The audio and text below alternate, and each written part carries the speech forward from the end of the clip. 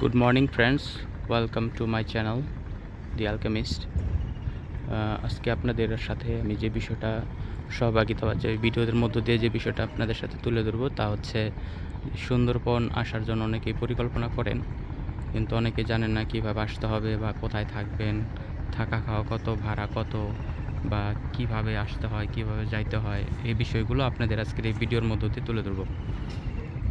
প্রথমত ভিডিওর পূর্বে আমার চ্যানেলটা আপনারা সাবস্ক্রাইব করেন এবং লাইক করেন শেয়ার করেন কমেন্ট করেন। তো প্রথমে আমি বলি, যদি ঢাকা থেকে আসতে চান, তো ঢাকা থেকে বিভিন্ন গাড়ি সাধারণত মংলায় বা খুলনাতে আসে। খুলনার রোড শুধু কাটাকালি থেকে ডিভাইড হয়ে গেছে তখন খুলনা চলে যায় এবং কাটাকালি থেকে মংলায় আসে। তো আপনারা খুলনার গাড়ি নিতে পারেন, আবার অনেক সময় মংলার গাড়িও নিতে পারেন। মংলার গাড়ি সাধারণত কম পাওয়া যায়। তার জন্য আপনাদের ঢাকা থেকে খুলনার গাড়িগুলো নিতে হবে। খুল- খুলনার অনেকগুলো গাড়ি আছে, শ্যামলি, হানিফ, তারপর সেন্ট মার্টিন, তারপর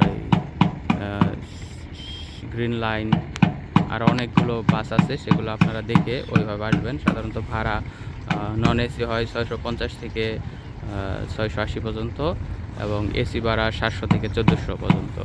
তো কমফোর্ট বুঝে এগুলোর দাম নির্ধারণ করতে হয় বা দাম নির্ধারণ করা হয়। আপনারা যখন খুলনার বাস নেবেন, তখন আসতে খুলনা আসতে ঢাকা থেকে তিন ঘণ্টা, সাড়ে তিন ঘণ্টা লাগে। আপনারা কাটাখালি নেমে যাবেন, খুলনা ঢুকবেন না। কাটাখালি থেকে বাস পাওয়া যায়, তারপর বাইক পাওয়া যায়, তারপর অটো পাওয়া যায়, আপনারা ওইভাবে মংলা আসবেন। মংলা আসার পরে মংলার সাথেই আপনারা পশুরা হোটেল বা পশুর হোটেল পাবেন এবং ওই হোটেলের ভাড়া হচ্ছে এসি দুই হাজার থেকে আড়াই হাজার এবং সিঙ্গেলও আছে, ডবলও আছে এবং ওইখানে থাকা খাওয়ার ব্যবস্থা আছে। এবং আপনারা যদি মনে করেন যে না আপনারা ওই সাইডে থাকবেন না, আপনারা এই সাইডে চলে আসবেন, তাহলে এই জায়গায় একটা ঘাট আছে, আপনারা হেঁটে দুই মিনিটের রাস্তায় ঘাটে যে ঘাটে আসবেন, এখান থেকে যখন পিক আউট থাকে তিন টাকা ভাড়া, এমন অন্য সময় পাঁচ টাকা ভাড়া নেই। তো আপনাদের এই ঘাটে নিয়ে চলে আসবে। তো এখান থেকে আপনারা যা করতে পারেন, এটার পিছনে হোটেল আছে বিভিন্ন লোক, যে কেউ লোককে জিজ্ঞেস করলে আপনাদের হোটেল দেখিয়ে দেবে। ওইখানে হোটেলের ভাড়া আপনারা পনেরোশো, দুই হাজার করে পাবেন। তো আপনারা যত কমফোর্ট যাবেন তত আপনাদের ভাড়া বাড়বে। থাকা খাওয়ার ব্যবস্থা আছে। সাধারণত শুক্র, শনিবার একটু পিকার পিক আওয়ার থাকে, তার জন্য এখানের যে ছোটো ছোটো এইগুলো দেখছেন, সেগুলোর ভাড়াও বেড়ে যায়। এমনি নর্মাল দিনে তারা এক হাজার পনেরোশো টাকা দিয়ে আমাদের করমজল নিয়ে যায়, অন্যান্য দিন তারা তিন হাজার টাকা চায়। তাহলে যত পিক আওয়ার আসবেন, তত দাম বেশি বাড়বে। এবং সাধারণত যারা গভীর অরণ্যে বা ভিতরে যাইতে চায়, সমুদ্রের ভিতরে যাইতে চায়, তাদের জন্য আলাদা একটা বড় বড় জাহাজ আছে। যদিও এখানে একটা ছোট জাহাজ দেখা যাচ্ছে।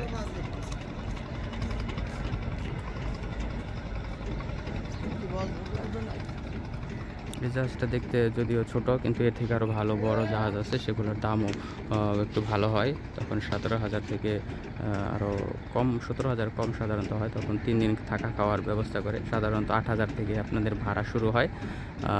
আপনাদের মোটামুটি ছয় থেকে আটটা স্পট দেখাবে। আর যারা শুধু একদিনের জন্য আসতে চান, তারা সাধারণত এই যে এই এই ছোটো ছোটো জাহাজ বা ছোটো ছোটো বোটগুলো দিয়ে আপনারা যাইতে পারবেন। এই ছোটো ছোটো বুটগুলো আপনাদের নিয়ে যাবে।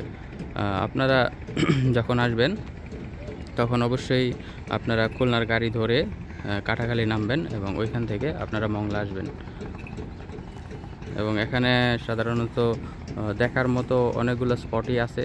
আপনারা ভিতরে করমজল দেখতে পারবেন, তারপর আছে হারবাড়িয়া তারপর আছে কটকা, তারপর আর অনেকগুলো জায়গা আছে, আপনারা সবগুলো আপনারা পছন্দ মতো বাছাই করতে পারবেন। সাধারণত তারা অনেক সময় একটু ভুলভাল প্রাইস বলে, কিন্তু আপনারা নিজেদের মধ্যে কম্প্রোমাইজ করে যত কমের ভিতরে পারেন, সর্বনিম্ন তারা হয়তো পারে ছয়টা থেকে আটটা স্পট দেখাবে, আট হাজার হইতে পারে, এবং সর্বোচ্চ হইতে পারে যে আপনাদের নয় হাজার, দশ হাজার, বারো হাজার, সেগুলা। তাহলে আপনারা সেভাবে আসবেন এবং জায়গাগুলো এনজয় করবেন সবাইকে। অনেক ধন্যবাদ।